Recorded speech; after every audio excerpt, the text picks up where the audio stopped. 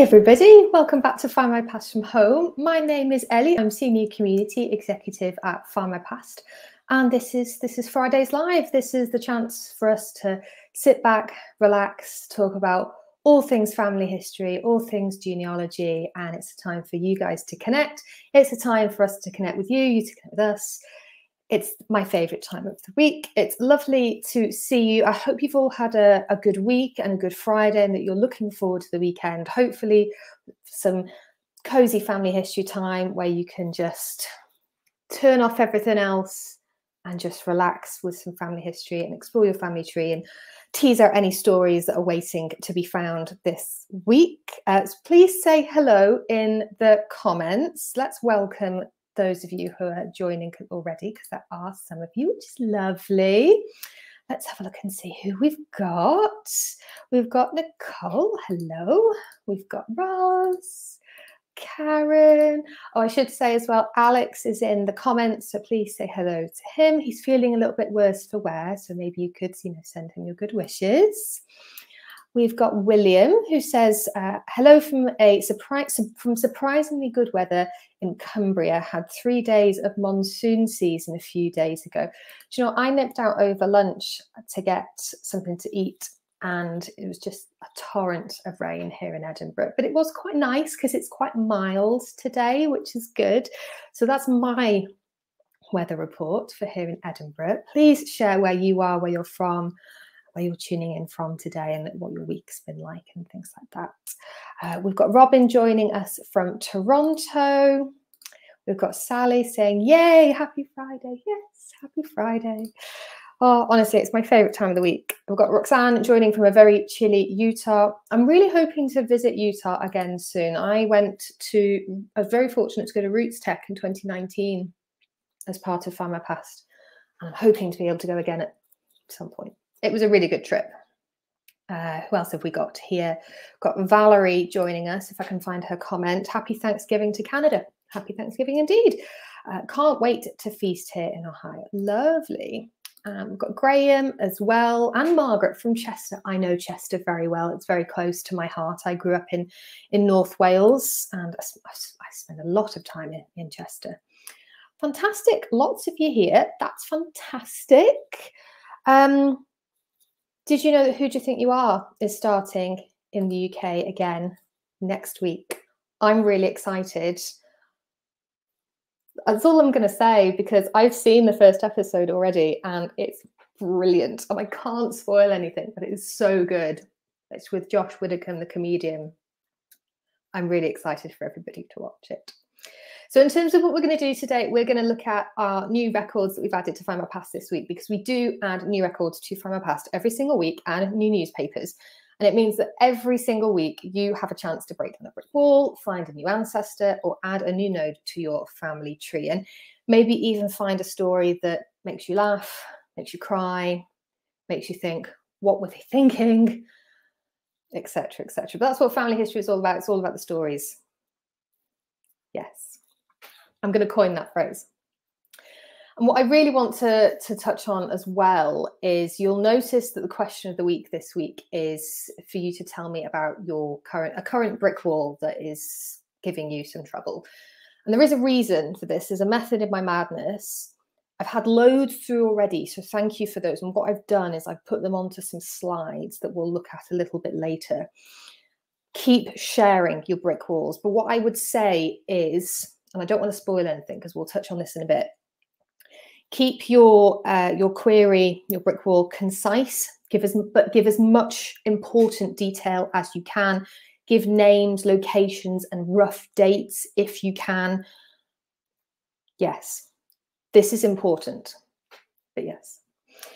And something else we're going to look at a bit later on is Alex last week looked at sort of the history of spies and I'm going to build on that this week and talk a little bit about real life spies that I found in the 1939 register. I fell down a huge rabbit hole looking at this. I found it utterly fascinating. I always find things fascinating when I research them for Friday's Live. And so I'm going to share some of the stories that I found in there, hopefully inspire you to use family history records in a way that you might not actually expect. You might not think, oh, I could use the 1911 census for this. You might not actually be interested in it, but just in case, I think, and just to show you the sort of things you can actually find if you go looking for them. Now, Alex also needs your help as well. So he's actually looking for some people who have a story about their homes or house they used to live in that has a spooky story behind it. Now, perhaps you've gone and researched why there might be a ghost or might be spooky goings on and things like that. So he's looking for some help, and the plan is it might it might it might appear in the press. So if you do have anything like that, please email your discoveries to us at discoveries at findmypast.com. And if Alex thinks, yes, that's a really good one, he'll be in touch. And hopefully Alex will be happy now that I have I've shared that. Lovely. And as I said, if you haven't got question of the week in yet, it is I want to hear about a brick wall that currently has you completely stumped. And again, be concise, be detailed, and give things like names, locations, and dates if you can. Okay, lovely. Okay, and lastly, before I kick off, um, please share this stream with your friends so they can see it too and more people can join our lovely community. So before we do new records, let me just go back to the comments ever so slightly. Myko talking about some, he's talking about spooky stuff as well. Let me get rid of that banner. There we go. Um, let's have a flick through. Yes, more questions of the week coming in. Good, keep them coming. We will touch touch on those a little bit later, which is fantastic. Yes, lots. And we've got yeah, we've got Daphne here as well. Got Louise. Victoria. Are you not very well, Victoria? Hope you feel better. Hope all is okay. Uh, we've got Mark tuning from sunny Cornwall. We've got Becky from Pittsford in Pennsylvania. Uh, Jen from Denver. The air is almost clear enough to see the mountains. Lovely. Have to get some pictures done, won't you? Brilliant. Lots of you here. This is great. Uh, Warren, uh, Paul, excuse me, joining us from Warrington. Lovely. Okay, right. Let's do some new records. Uh, so there's a couple to go through this week, and then we've got newspapers to go through as well, which is really exciting. So the first new record collection we've got this week is the Edinburgh Apprentices for 1583 to 1800. Now, there were informal apprenticeships or uh, and, and indentures, but sometimes these they weren't often recorded, so you might not find these in the records. And in case you don't know, if you were an apprentice, you would rely on your master for various things. So, food, shelter, uh, clothing, sometimes. And then the apprentices often had they had certain restrictions. Okay, so they couldn't, they might not be able to marry while they were an apprentice. They might not be able to gamble. They might not be able to visit public houses even while they were an apprentice. And then once you've sort of completed your apprenticeship, the idea would be that you could join a guild or a burgess and make so just make sure to cross-reference those records as well. And then maybe even the newspapers, there may be some details in there too. So for these Edinburgh Apprentice records, you can often get, in fact, most of the time, you get the name of the apprentice, you get the apprentice father's name, you get the name of the master, you get dates, you, you normally get the residence of the father as well, the, the apprentice's father, the trade, and then there's also additional notes. So in particular, for some of the ones I was exploring, I saw that it would note the residence of the master. It might denote that the apprentice's father had passed away. So definitely check the notes column as well. And you don't, you, how do I phrase this? You can search by the apprentice's name, but you can also search by the master's name. And when you're searching, you actually have the option to search by all of them or search by just apprentice or just master, which will really, really help. I went and then had a look to see what I could find for you to show you some examples. And I looked at swans in Edinburgh during this time because I have swan in my family tree, although they are based over in Dumfriesshire. Anywho, So I found an Alexander Swan, and the record, this one record told me that he was the son of John Swan, who, and he became apprenticed to a skinner um, called William Whiteman in 1701. And it also tells me that John Swan, the father, is deceased, and that William is the, apparently the deacon of skinners. I didn't even know that was a thing. And then I found another one in 1732. There's another Alexander Swan as a master merchant. It could be the same guy, it, it might not be. Um, taking on a John Graham, son of William Graham. And by this point, this particular Alexander is a Burgess, according to the notes. So, yeah, go and check those out if you've got Edinburgh ancestors and let us know what you find, as always. So in terms of the, the new news, uh, what no, I've skipped. Why have I skipped my newspapers? No, I haven't skipped my newspapers. I wanted to talk about the overseas births and deaths. Um, these are these are really really good actually. We've added, I think, I can't remember the exact number, but we've added more records into this existing collection. So if you have ancestors who were British, um, but they were born or they died overseas, then you should find them in these records. So go and check those out. Really, really good for traveling ancestors, anybody who might have served overseas in the military, for example. Go and check those out. Yes. That's the next one. Now I can move on to newspapers. So the big headline newspaper this week, its brand new title is The Keys. And this was a journal and it was published between 1933 and 1939 by the League of Coloured Peoples. And I say, when I say coloured peoples, this was the language they used. It's something to something important to remember when you're looking at uh, a newspaper or a journal like this. It can use outmoded or outdated language. So just something to bear in mind. So the league was actually founded two years previously by Dr. Harold Moody. He came from Jamaica to Britain, I think in 1904, to become a doctor. And what he found is that he he was in, became increasingly upset and frustrated at the levels of racism that people experienced. So the league was founded in order to improve relations between the races. That's actually what it says in the first edition. So as I said, it's important to know about the language. What's really good is that we get glimpses into what life was like for Black people in Britain in the 1930s, especially when fascism was on the rise I actually I mentioned this on Wednesday. I watched a really really interesting documentary on I think it was BBC Four about Scotland's involvement in the slave trade. And one of my key takeaways from that, you know, it was very hard to watch. One of the things I took away from that was slavery. It took a lot of things away from people. It robbed them of, of a lot of things, but in particular, their history. And I just think, what what what must it be like going to an archive and trying to find out things about your history and your family's history, and there being nothing there, nothing at all. So that's why it's really important for us to preserve publications like this and documents like this. And in particular, the Keys is free to view on Find My Past and also the British Newspaper Archive, in addition to several other diverse titles that we've made free as well. And if you missed it, go back and have a look at our interview of S.I. Martin. He's an author and historian, and he went into sort of the thinking and the context behind the keys, how it came about, and why it was needed. So that's the big title that we've added this week. We've also got exist, um, existing titles have been updated with some new pages. So there are over 40,000 pages into the London Evening Standard.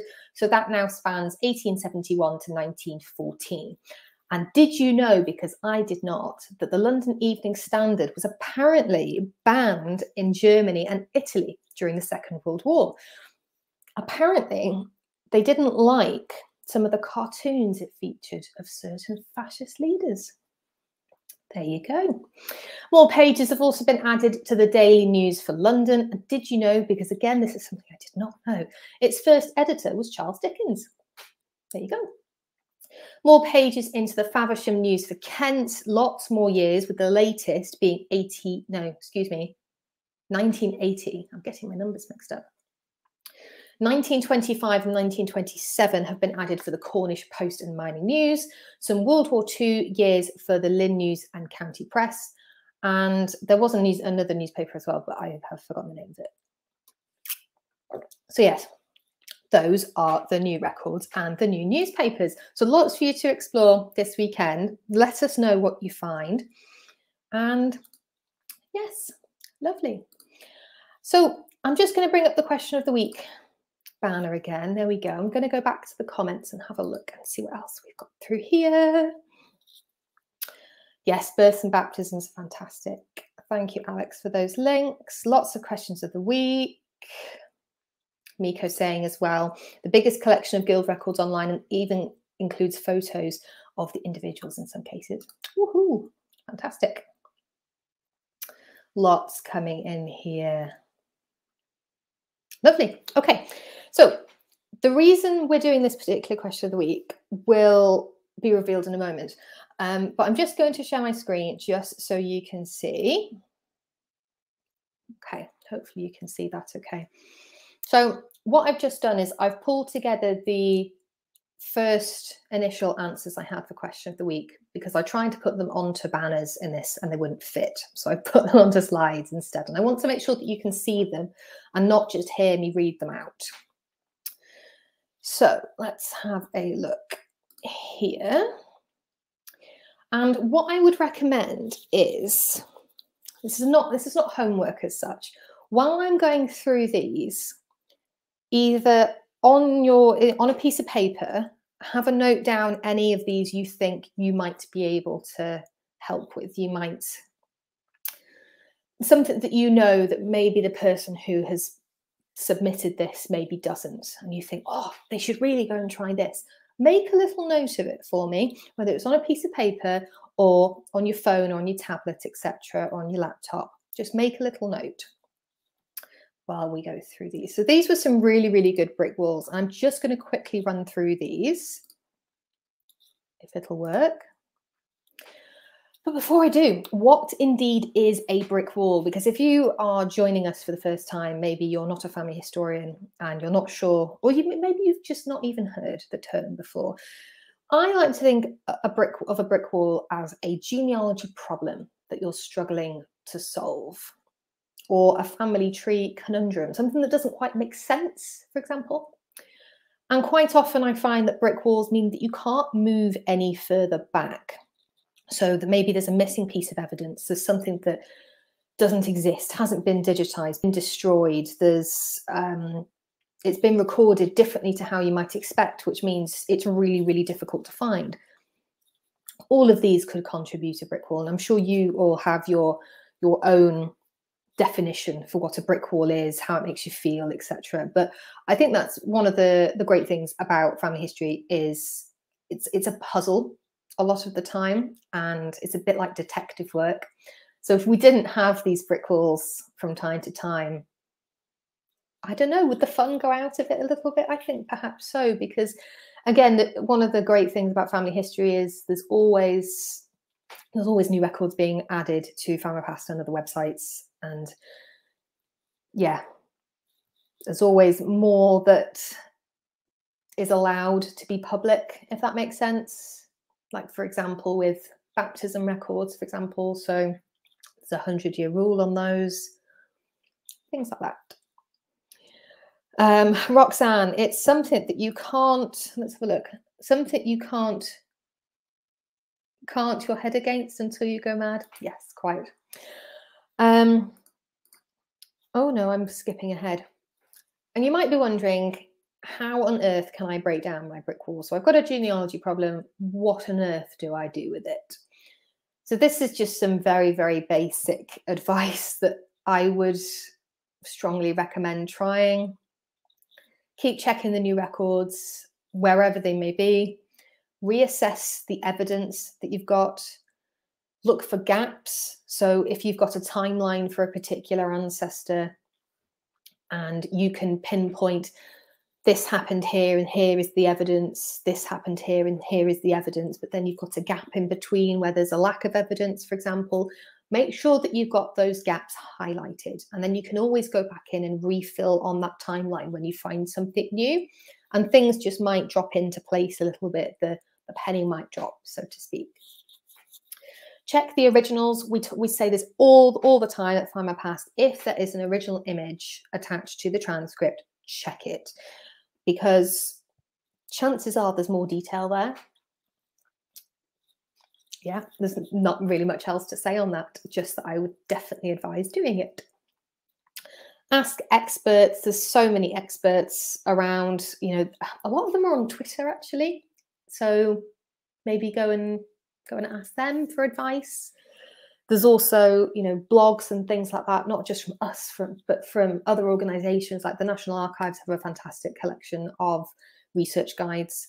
Definitely recommend those. There are more there's lots of guides out there basically and you know a lot of genealogists and family historians do q and a's every now and then as well so like Myko for example he does a, a monthly q and a with us which is always really really popular and it means you can connect with an expert really really easily and then finally i think the last one for me is to ask the community because it's not just the experts that have got the knowledge and the know-how it's everybody else. It's all of you. Okay. I'm, I'm getting ahead of myself, but this is the point behind this little exercise. So let's have a quick read through these. So Sally's brick wall is for a chap called Douglas Guy. And Sally says he was born in 1881 in Portsmouth into a family of tailors, served in South Africa during the Boer War, and on his return, he lived in Oxford with his family. He left the UK to go to Australia in January 1907. Luckily, we have postcard evidence of his arrival in Sandstone. He wrote home several times, and then in about 1908, the trail stops. I've not been able to find anything more about him in Australia or even in New Zealand. I've searched death records from BillionGraves, the newspapers, marriage records, you name it, I feel I have looked. Douglas Guy is my big old brick wall. So remember what I said. If you have any advice for Sally or a record collection that you think she should try, make a quick note of it. Okay, all right, next one. So Diane's brick wall. I should just point out, by the way, these photos, these images that I've added, um, I've just added these. These are not from the community members in question. I just wanted the, the slides to look a little bit more interesting. So Diane's brick wall. My husband's second time's great grandparents emigrated from Ireland, but I don't know where from where in Ireland. John J. Walsh, born February 1849, immigrated to New York City in 1868. Ellen Fox, born March 1849, emigrated to New York City in 1867. Were they married? No, excuse me. They were married in New York City in 1870. I don't know if they knew each other in Ireland or if they met in New York. So, where were they from? That is the question there. Oh, I see. I saw Sally in the comments there. Fantastic. Uh, Tracy says, uh, "My brick wall is my husband's, my husband Brian's four times great grandfather, Char, Char. I don't know what's going on with me today. I apologise. Christopher Barkham, born between 1810 and 1815 in West Briggs, which is now part of Tottenham in Norfolk. I have his full history from censuses, but just cannot find his baptism record to determine his parentage. On the censuses, his year of birth varies from 1811 to 1819. The latter is obviously wrong, as it would only make him 12 years old when his first child, Sarah, was born in 1831. Even his marriage certificate has no information. And I know it's not the Christopher Barkham born in 1805, as he dies in Lincolnshire in 1856, whereas hubby's Christopher dies in Birmingham in 1890. I've tried all the baptism records within five miles of where he was born. So we're after a baptism there for Christopher Barkham. Make a note if you think you can help with this one. Then we move on to Elaine. So Elaine says, My four times great grandfather, Andrew Charles, is a mysterious one. It states he was the master's mate of the Hebe. The Hebe? I probably pronounced that wrong. On his marriage certificate to Mary Matthews in 1794. However, he doesn't appear on any of the logs in the National Archives under this vessel. He also apparently is Swedish and signs his name in the manner in the manner, or his country. I think I'm misreading that. But the, for the life of me, I cannot find any more information on him, and I would love to know more. So we've got a little bit of a, a stopgap there for Andrew Charles. We can't go any further back. So if you've got any advice for Elaine, make a note. And then we move on to Kim. So Kim says, My great grandfather's girlfriend, Mary Ann Fusher, disappeared in 1910, aged 25, after she was remanded for stealing his watch. Oh, this is a good one, Kim.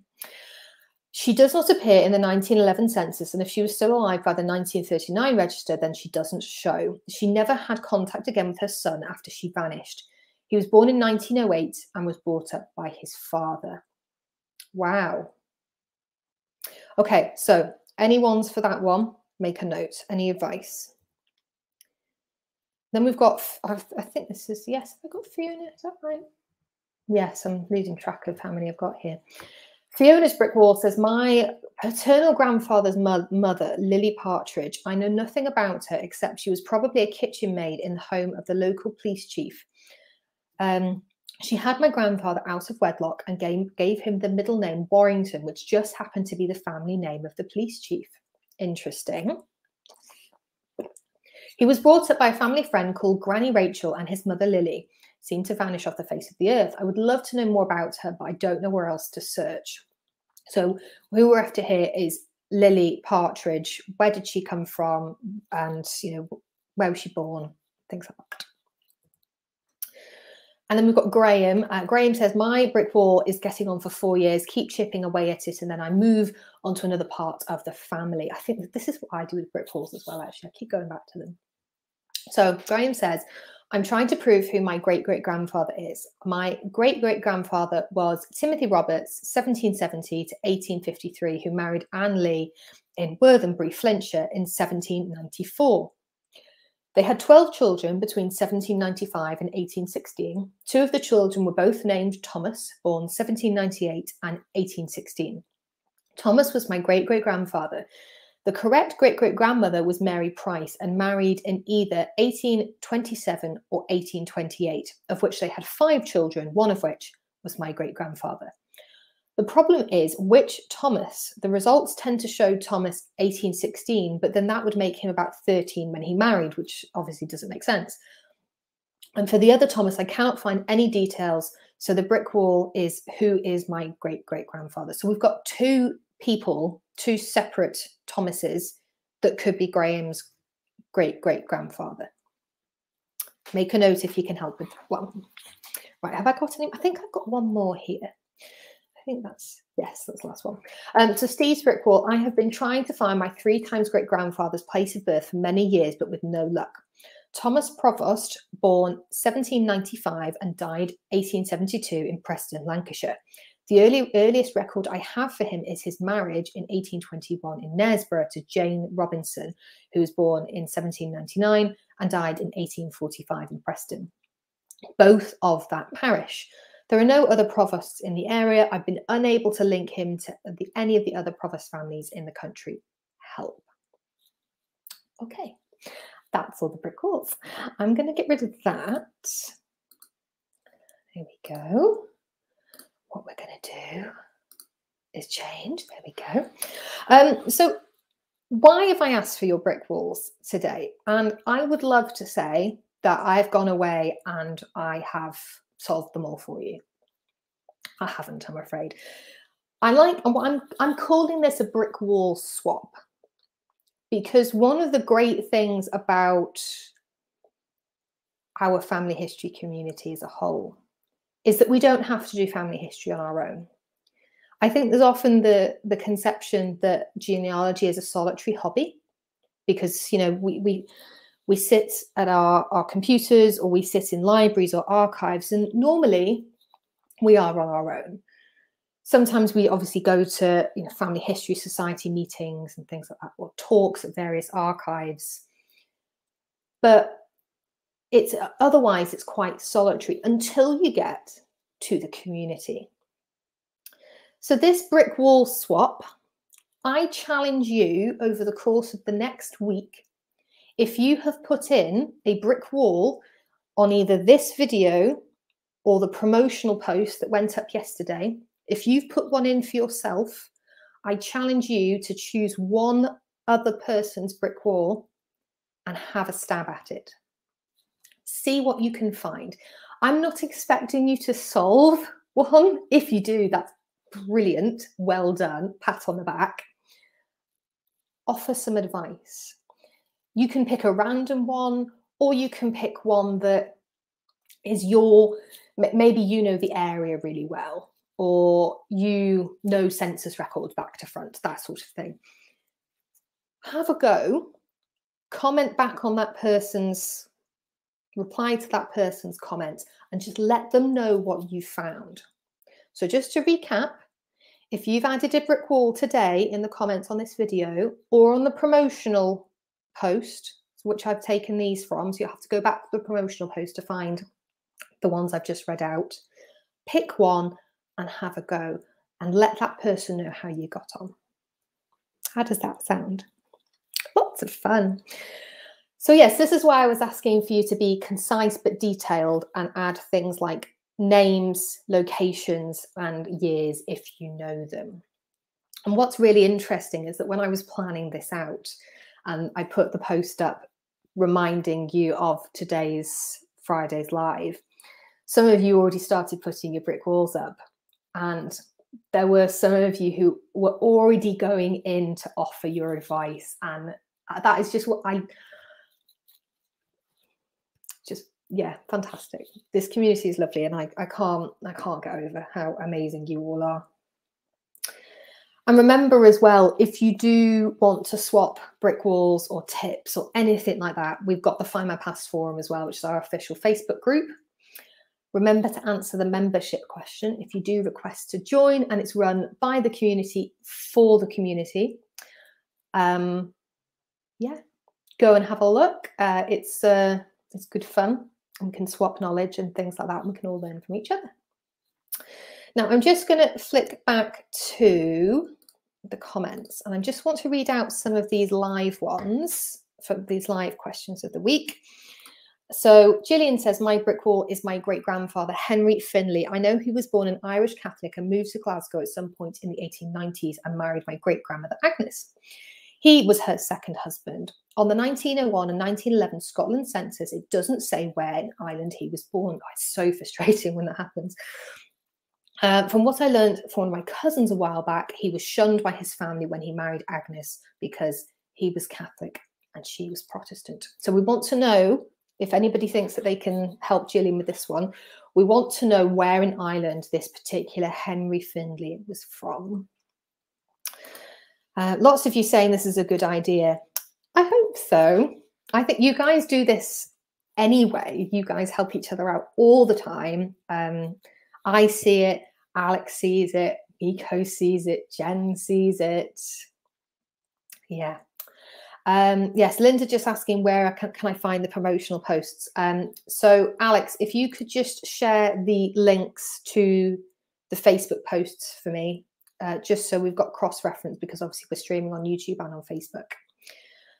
Fantastic. Right, I'm just going to scroll up and see what else we've got here. So uh, Debbie is after great grandfather David Myers, born 1814 in Hull, England.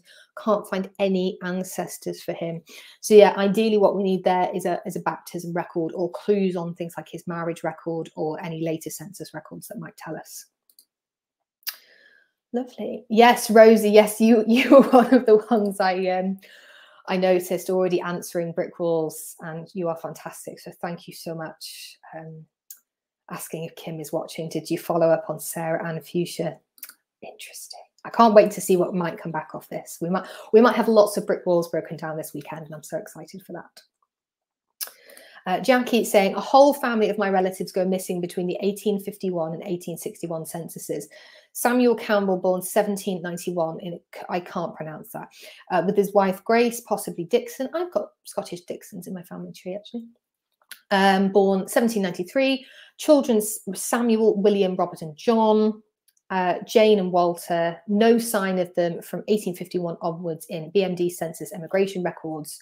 So if anybody's got any suggestions for Jackie there, what happens to this family because they just seem to disappear. Lovely. Okay. Um, okay, I'm just going to scroll up and see what else we can find here. Uh, Matt says, I think many brick walls are broken when people migrate and there aren't any records. No, sorry. There are brick walls where people migrate and there aren't any records to show the potential same people are the same people. So within Ireland or from in Ireland to England. Yeah, that's a really valid point, actually. Sometimes the records just weren't kept. And I think it's important that then we look in the available records for clues. That is usually that's usually a really good way of doing it. I mean, I think some sometimes you have to have a little bit of luck and almost know what you're looking for. I've lost count the amount of times that I have been doing my family history research and I just, you know, for example, I'm looking at an original record and I see something that I'm just like, and it's what one tiny little bit of information that I wasn't looking for, but it proves something else. I, I have to tell you my example. I've talked about this many, many times, but I, when I did my Findmypast living DNA DNA test, it came back and said I was uh, part Scottish, and I never knew until that moment that I had Scottish relatives. I just thought I was Welsh and English, and I set it aside for a bit and didn't really do anything with it. And then at one point, I was researching my great grandmother's family tree, and she was born Smith, and I just thought, this is I'm never going to find anything about her. And I was looking through census records for potential matches for her parents, I think, or her father. And I found one that said born in Scotland. I was just like, oh, I wonder if that's him. So then I was on a wild goose chase, then trying to prove if this family of Smiths were my Smiths. And then, quite by accident, I was looking at the 1939 register, looking at my two times great grandparents who had moved to North Wales by that point. And I was just I was just looking at it again. I'd seen it before, and I opened up the original image and I was just exploring that.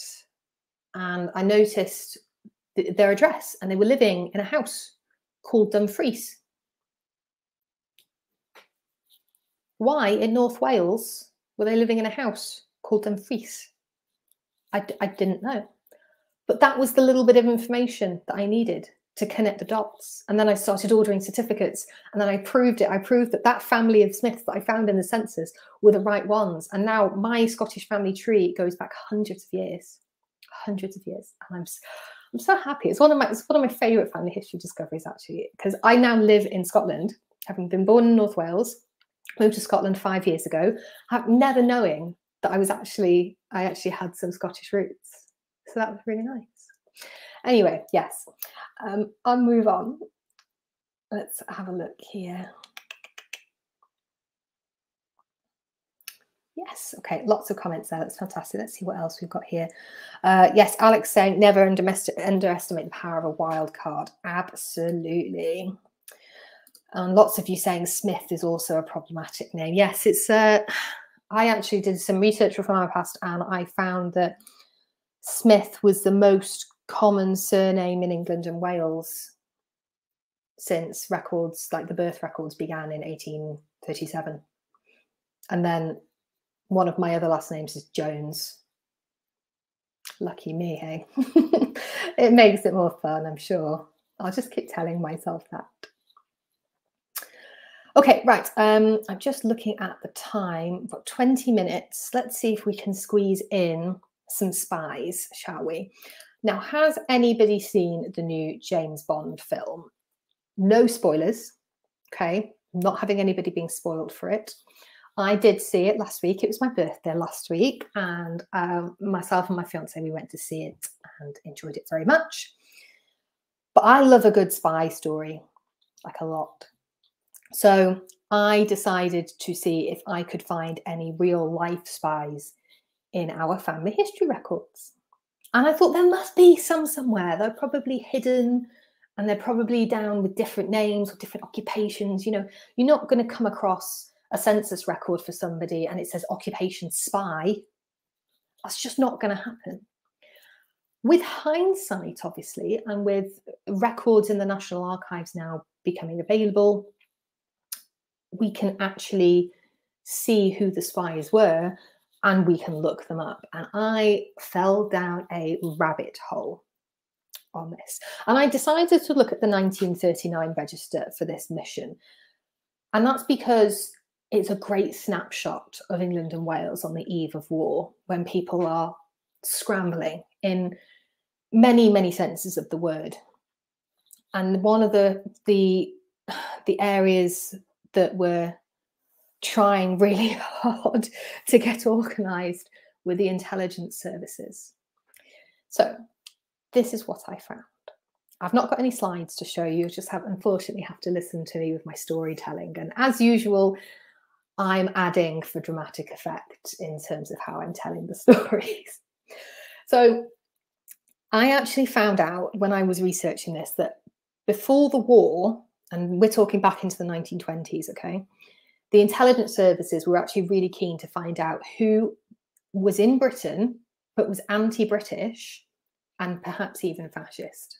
Okay, they wanted to pinpoint these people and monitor them, pass information back to the intelligence services and things like that, just so you they could keep an eye on them, just in case they might present a problem.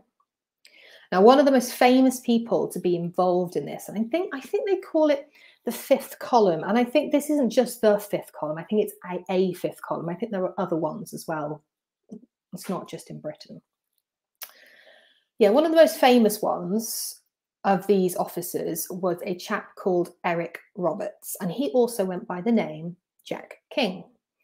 And for years and years, he reported on fascists in Britain, and he passed I think it was something like 500 files on individual people to the intelligence services. So I went and had a look to see if I could find Eric Roberts or Jack King in the 1939 register. And I did. I found him living in London as a as a clerk for the Westminster Bank. And in fact, when I looked up when I looked him up, not on the 1939 register, but about him on the net, it did say that he kept a day job as working for the Westminster Bank. And that's where I found him. I didn't see him listed as a spy or as a, an intelligence operative. I found him listed working for a bank with his wife. And he's a really interesting figure, actually. He was born in 1907 and he actually started working for the intelligence services back in the 1920s. So this was quite, quite, you know, into war, into war, into war. Yeah, really, really fascinating figure. Um, and it wasn't until 1942 that he was uh, posing as Jack King, a Gestapo agent. And after the war, he ended up living in Vienna for a bit, working for MI6.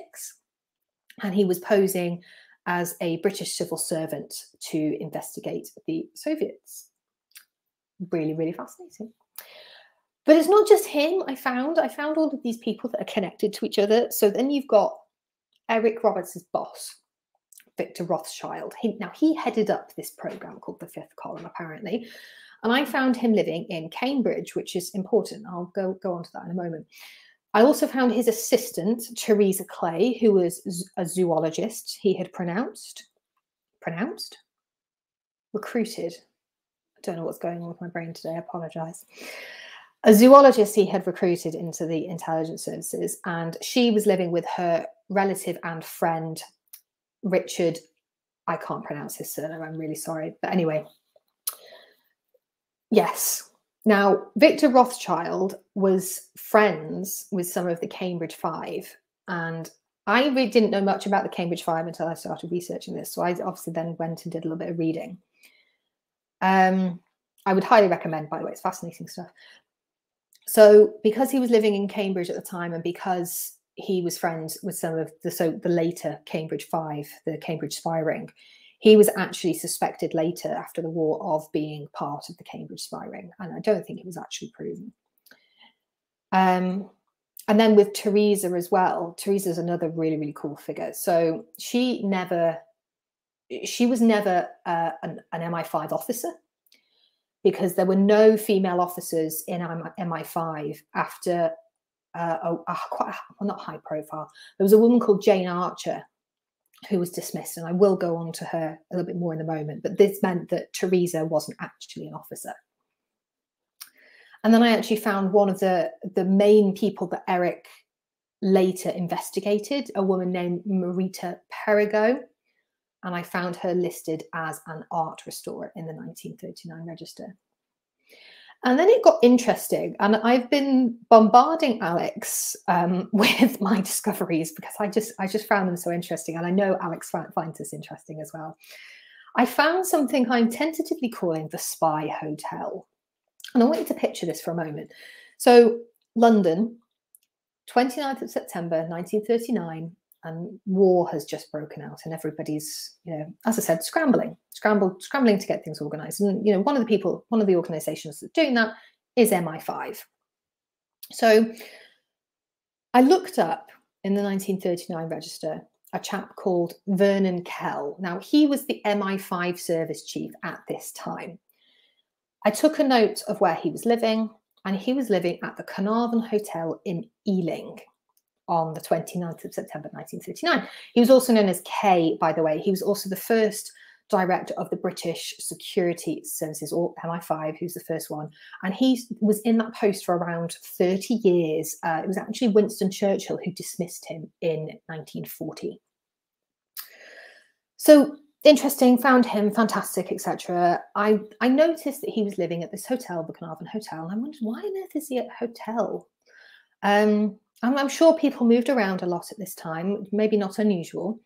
So then I opened up the original image, and what did I say earlier? Always check the original image. So I went having a look at that, and obviously there's you know two or three pages worth of people living at this hotel on this particular evening. But then I started noticing some interesting things. So also at this hotel on the 29th of September 1939, was Guy Liddell or Liddell, who was actually, when I looked up, the director of counter espionage. And he, he got that post in 1940 when he was promoted to the director of B Division. And funny enough, he was actually also suspected of being um, in the Cambridge spy ring. He was actually suspected of being the fifth man. I'm not going to go into too much detail about that because I will be here all evening and you've got things to do. Then I found, and you remember earlier I mentioned Jane Archer. Okay, so listed as Kathleen Archer, living with her husband at this hotel, the Carnarvon Hotel in Ealing. She was the first female MI5 officer, and she she's utterly fascinating. I desperately need either a film, a book, or a TV series about her. I think she's incredible. There might be is one might be one already, and if there is, please tell me because I want to go and I want to go and find it.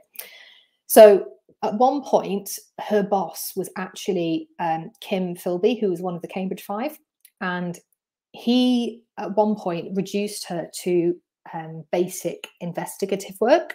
That's a long word, investigative. Um, because apparently he was afraid that because she was so good, she was so good at what she did, he was afraid that she would uncover him, but she didn't, I'm afraid. Um, so she was actually dismissed uh, from MI5 in 1940 for insubordinance. And what she'd done is she had, at a very, I say high profile, at a big meeting at Blenheim Palace, she criticised um, a chap called Brigadier Harker, and I think she must have done it quite, sounds awful, quite forcefully, because although Liddell, who was also there, said she had a point, apparently she went too far. Anyway, she she was dismissed, unfortunately. And after her, as I said, there were no more women in MI5 during the war. And also at this hotel, I found various other civil servants, war office staff, I honestly wonder what on earth was going on at that hotel. Was there a, a base at the hotel? Was there were they working out of some of the rooms? Was there an office nearby? I don't know. I have tried to find out information about it on, on the web. I have had no luck so far. if any of you would like to take up the mantle and see what you can find about the Carnarvon Hotel in Ealing and see if it was some secret MI5 base, I would love to hear from you, basically. And then there's other things I found as well. So I actually discovered that there are over 5,000 people in the 1939 register with the words War Office in their occupation. Another 179 have the word intelligence in their occupation. And don't remember, this is only the people who are upfront about it. You know, there are people like Eric Roberts who just listed themselves as a, you know, a bank clerk. I also learned that MI5 in 1939 was based at Wormwood Scrubs Prison. And I looked up the prison, and that's exactly what I found. I found not only just the prisoners, but also a load of War Office people who were working there. And although this didn't obviously come up until later, you can also go and find the people who are working at Bletchley Park. I found four out of five of the Cambridge Five spy ring. So, yeah, I really enjoyed this. And I hope you've enjoyed my whistle stop tour of spies in the 1939 register as well. I hope, hope it's been interesting for you. I would be really interested to know actually if any of your ancestors were doing something unusual in the, when you find them in the 1939 register were they living somewhere you wouldn't expect or were they living with somebody else or did the, their occupation change or does it just look a bit vague i suppose? And i say the word shady shady makes it come across as quite negative but unusual. We'll stick with unusual that is what i would like to know Okay, we've got about seven minutes left. I'm going to go back into the comments before we wrap up and just see what you guys are saying. Let's have a look here. Uh, William saying it sounds like the Foyle's War series. Wonder where they got their ideas from. There's a hotel used as a main point for a lot of the scenes. this is the thing, right, William? So I went to see if I could find any other hotels that were being used in a similar sort of way, and I did. Um, I can't remember the names of them, but I found at least another two. I also found one in Bournemouth this the one in Bournemouth I found wasn't as unusual because it seems to be a lot of BBC people living there and um, interpreters and things like that. So yes, lovely. Okay, I'm scrolling back up to see what else we can find. Oh, this is a good one from Beth. I have a family story about my great great aunt who worked for the census office in World War One and supposedly got an MBE for her work. Still trying to prove or disprove the story. What I know about her, the story has a good chance of being partially or fully true. I need, I, I need, if you find that, Beth, you send it to me. I want to read it, please. Thank you. Okay, okay, I'm scrolling. Yes, Alex is saying that he has been continuing with his spy research and uh, found a chap called F. E. F. Thomas. I can't read that properly with the link. Okay. Fantastic. I'm just scrolling up to see if there's anything else I need to I need to share. Okay, yeah, I think that's it. Oh, people say happy birthday. Yes, thank you. Another trip around the sun, as they say. Okay, well, I think we'll probably leave it there for today then. Um, thank you so much for tuning in. It's been a pleasure, as always. I hope you've enjoyed this trip into spy history and also the brick walls as well. So, just to recap, if you have popped a brick wall of yours into the comments here or you've put it on the announcement post, I would like you this week over the course of the next week to go and pick somebody else's brick wall, just one, just one, and see what you can find about it. You can either pick a random one for fun, or you can pick one that you think actually, do you know what, I have a, a really good chance of helping somebody with this. And I'm not, as I said, I'm not expecting miracles because um, you know these are brick walls for a reason. but just go and see if you can offer any advice. Maybe say, oh, have you checked this record set? Have you looked at this resource? Have you thought about doing this, such as using name variants, etc.? And what I'm hoping is that hopefully everybody who has uh, put a brick wall forward today will hopefully get somebody else helping them. So we'll have a little, this is why I'm calling it a brick wall swap. And do go back to the comment and tell the person how you got on. Even if you don't find anything or you you, you think that your advice won't get them very far, please still comment anyway. Because as I said, family history doesn't have to be a solitary activity. And sometimes if we if we know that there's somebody out there as well that's helping us and rooting for us to, to, to find these stories and make the discoveries, sometimes that in itself is quite powerful. And yes, we uh yes, we're all a, we're all a community and we help each other out. So fantastic. Okay, um, what housekeeping things did I need to share before we go? So Myko is doing his Q&A next week, so um, get your questions at the ready for that.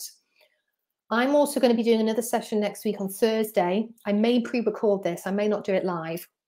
And I'm going to be looking at various resources from the National Archives that are now available on Findmypast for you to explore, just in case there are any ones that you haven't looked at yet and may actually help you uh, with your family tree and maybe even break down a brick wall. And then Myko's going to be doing Fridays live again um, next week as well. And I think that's it, other than if you do have a spooky house history story to share, please send it in to discoveries at findmypast.com and remember to like and share this live stream um, so we can get more people involved in our lovely community. Okay, I will leave it there. Have a good weekend, everybody. Take care of yourselves, look after yourselves, and I will catch you next week. Bye bye.